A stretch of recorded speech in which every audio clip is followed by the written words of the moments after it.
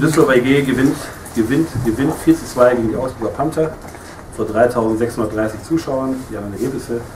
Hannover besiegt Berlin 4 zu 1, Iserlohn schlägt Straubing 3 zu 0, Nürnberg unterliegt Mannheim 1 zu 3, Hamburg läuft noch bei 3 zu 1 im zweiten Drittel.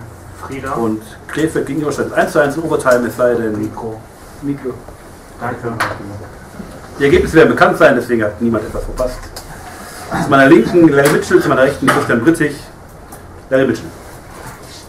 Guten Abend. Äh, wir hatten nach dem Spiel am Freitag, wo wir Krefeld geschlagen haben, wollten wir diesen Schwung mitnehmen hier im, am Anfang des Spieles und das ist uns äh, gar nicht gelungen.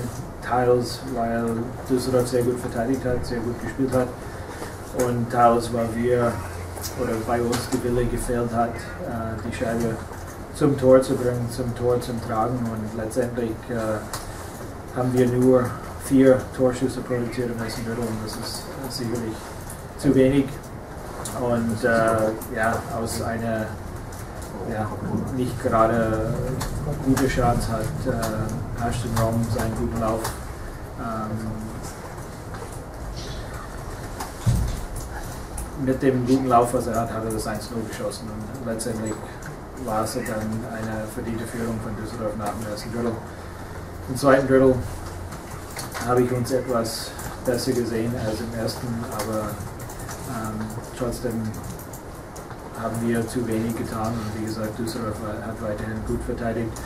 TJ Trevelyan hat dann äh, letztendlich mit seinem Leingang den äh, Ausgleich für uns erzielt. Und äh, obwohl wir eigentlich äh, disziplinierter gespielt haben im zweiten Drittel als im ersten, wo wir zwei unnötige Strafzeiten genommen haben im offensiven Drittel. Im zweiten Drittel haben wir eigentlich diszipliniert gespielt und haben äh, unerklärlicherweise viele Strafzeiten gekriegt. Und äh, das äh, hat uns letztendlich das Genick gebrochen, wenn man so lange mit drei Mann spielt, dann äh, ist es natürlich sehr, sehr schwierig und äh, Düsseldorf hat ähm, einen schönen Tor geschossen, äh, die haben die Scheibe sehr gut laufen lassen und haben dann das 2-1 geschossen und äh, ja, danach im letzten Drittel haben wir sehr, sehr gut gespielt und haben, äh, denke ich, verdient den Ausgleich geschossen und äh, ja, unerklärlicherweise dann neun Minuten vor Schluss haben wir nicht nur einen Zweikampf im eigenen Drittel verloren, nicht zwei Zweikämpfe verloren, aber drei auf einmal. Und äh, dritte Sturm von Düsseldorf hat die nötigen Zweikämpfe gewonnen und letztendlich dann verdient das 3-2 geschossen. Und äh, ja, wir haben dann trotzdem äh, eine oder andere gute Chance. Ich denke an der Chance von unserer beste Torschütze, der Quittmar, wo er alleine dem Tor war. Aber Bobby geführt hat äh, die Ecke zugemacht und letztendlich gehen dann die drei Punkte verdient an Düsseldorf und dafür gratuliere ich äh, Christian und seine Mannschaft. Vielen Dank, Christian. Äh, danke, Larry. Ich denke, dass wir so weitergemacht haben wie am Freitag. Wir haben jetzt das zweite Mal in Folge den Gegner, also mehr Schüsse, deutlich mehr Schüsse gehabt wie der Gegner. Wir haben immer versucht, wenn wir die Scheiben hinter die Verteidiger bringen, dass wir in der Rotation Druck machen, dass wir uns festsetzen. Das hat teilweise sehr gut geklappt, besonders bei dem dritten Tor. Das war ein super Einsatz von allen fünf mit den Verteidigern bis zur Grundlinie runter mit Absicherung.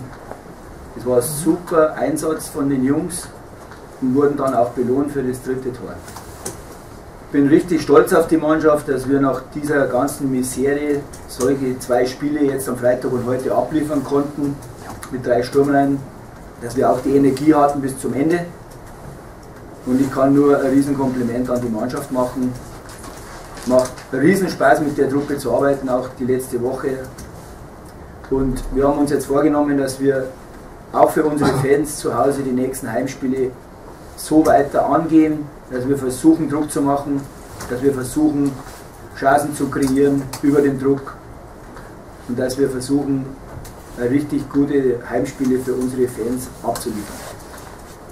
Dankeschön. Eben war schon die Frage, wer hat das dritte Tor gemacht? Fischbuch oder Hofland? Fischbuch. Das wird bestimmt spannend. Gibt es Fragen bei der Trainer? Thomas Schulz, Westdeutsche Zeitung. Eine Frage äh, zunächst mal an dich, Larry. Ähm, du hast äh, mit der Aussage recht, dass im zweiten Drittel ein paar Strafzeiten etwas unerklärlich waren. Wird es aber nach dem Spiel äh, Herbst, als es äh, ähm, erhebliche Diskussionen um Falconetti Forest gab, äh, wirklich ein bisschen äh, echauffiert. Kannst du uns vielleicht dann heute die Szene mit Steffen Pelzer äh, kurz ein bisschen aus deiner Sicht äh, interpretieren und fürchtest du, dass da jetzt auch was nachkommt? Eine Frage nach der Szene mit dem Spieler Tölzer, der dann 2 plus 10 Minuten kam. Erstens soll man sich vielleicht ein bisschen vorbereiten. Es war nicht sehr nett gegen Forrest, sondern Alex Henry. Dafür wurde er sechs Spiele gesperrt. Äh, Die Szene von Steffen Tölzer habe ich so gesehen, dass der Düsseldorfer Spieler wollte die Scheibe ins Tor bringen und Steffen Tölzer hat ihm einen äh, Crosscheck im Rückenbereich gegeben und hat dafür äh, zu Recht 2 plus 10 Minuten gegeben. Weil es kein äh, Check gegen Kopf war, erwarte ich, dass äh, keine Strafe kommt. Also dass ich glaube, das war Steffen Tölzer seine dritte 10 Minuten und dafür wird er dann gesperrt am Freitag, äh, Mittwoch. Danke. War noch was, Thomas? Äh, Ja, ich wollte den Christian fragen, jetzt der Daniel Kreuzer hatte heute äh, sich mal überreden lassen, für fünf Bier äh, einen Tanz zu machen. Äh, Im nächsten Heimsieg bist du dann dran? Eine Frage nach den Tanzeigenschaften von Christian Rettich. Wenn wir einen, einen großen Sponsor bekommen, tanze ich die ganze Woche.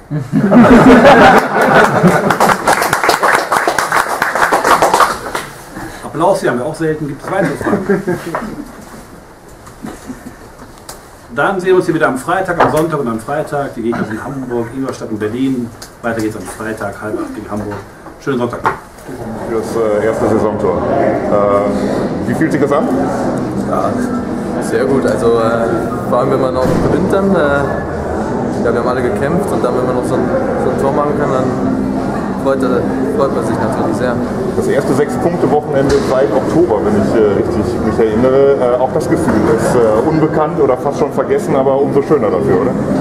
Ja, auf jeden Fall. Also wir haben hart dafür gearbeitet, äh, Freitag auch und heute auch wieder haben wir alles gegeben. Und äh, ja, es ist ein super Wochenende, es fühlt sich sehr gut an, die sechs Punkte, dass wir die haben. Und äh, ja, arbeiten wir die nächste Woche wieder hart für die nächsten sechs Punkte.